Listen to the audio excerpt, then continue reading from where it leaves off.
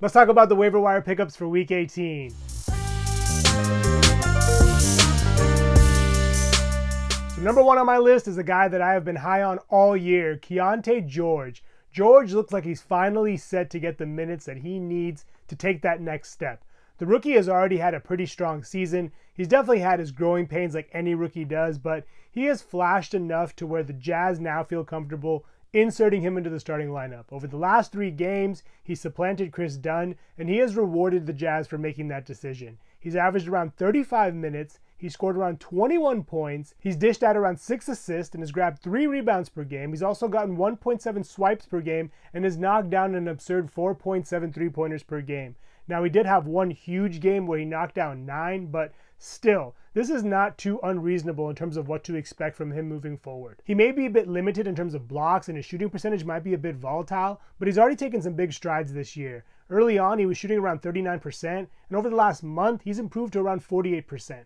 And during this three game stretch where he started, he's knocked down 51% of his shots. And I think with more minutes, he's only going to improve. And while his defensive rating at 123 is a bit higher than the NBA average of around 116, I think he'll definitely get that number down. He's shown that he has very strong hands. I've seen him come out of scrums numerous times with a loose ball, and I think with more minutes, he's only going to improve in those areas. As it is, over these last three games where he started, he's averaged double his season average in terms of steals. And I think that's going to continue down the stretch. At this point, the Jazz's play-in hopes are fading quickly, and I think George may be the spark that they need. I could see him getting close to 30 to 33 minutes a night from here on out. I think he's a great target in dynasty leagues, but I also think he's going to have a very strong finish in both points and category leagues this year. So if you're in need of a guard that's going to be able to knock down threes in a hurry, can score points, and is a good playmaker, you definitely want to give George a look. As it is, he's rostered in about 45% of leagues, but if he is somehow available in yours, I would not hesitate to grab him. I think he could be a league winner. Next on the list is Marvin Bagley. Marvin Bagley came into a great situation in Washington. The Wizards pretty much have nothing to play for besides the lottery, so I think Bagley's going to get all the minutes he can handle from here on out. The Wizards traded away Daniel Gafford, and Bagley looks to be the guy who they're going to use to replace him. He's delivered a double double in three of the last four games, and over the last four weeks, he's seen some pretty solid production. He's averaged around 12 points, he's grabbed 11 rebounds, he's dished out two assists, he's also gotten 1.3 steals, and has blocked one shot per game. And with the Wizards not really having much depth at center, I think Bagley's going to get all the minutes he can handle from here on out. Of course, he does have a pretty extensive injury history. He's only managed to average 37 games per season over his last four years.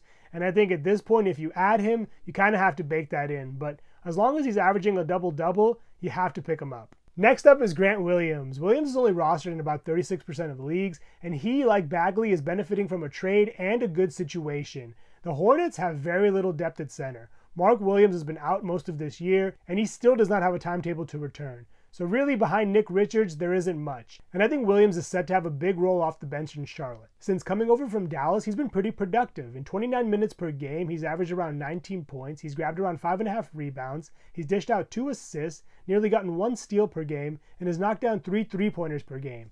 And I think as long as he's getting minutes close to the 30s, he is a must roster player. The Hornets also traded PJ Washington, Gordon Hayward, and Terry Rozier this year, and those voids haven't really been filled. Not to mention, LaMelo Ball's been out of the lineup for a while too. Ultimately, with the Hornets season pretty much over, I think players like Brandon Miller and Grant Williams are going to get all the minutes they need. This team is looking to develop players on the roster. They're obviously going through a transitional period. And if you're looking for a big that should get some good opportunity down the stretch, I think Williams could be your guy. I definitely expect his rebounding to improve, but even if it doesn't, he is still worth a pickup. Lastly, I wanted to make a couple of honorable mentions for deeper leagues. I want to talk about Eric Gordon and Simone Fontecchio. Both players kind of bring the same set of skills. They're going to get you points, three pointers, and should grab you about a steal per game. Gordon is a better defender. He'll get you some more steals than Fontecchio, just slightly, and he'll also get you some block production. The Suns have a pretty tight rotation, and while Gordon's role has been a little bit smaller this year, he's definitely been very consistent. And I think while he's producing the way he is, he's worth owning. Fontecchio was brought into Detroit to kind of replace Bojan Bogdanovic. And while he probably won't do that exactly, he definitely will get close and he'll get the minutes to at least try. He's a better pickup in points leagues, but if you're in need of threes and points, I would definitely give him a look. At this point, we're heading down the home stretch. If you're holding on to players like Mark Williams and Ben Simmons, or even players like Jordan Clarkson and Keldon Johnson, I would consider moving them if it means it'll help your odds of making the playoffs. Those are some waiver wire pickups to consider for week 18. Thank you so much for watching. Please subscribe and let me know your thoughts heading into week 18 in the comments below.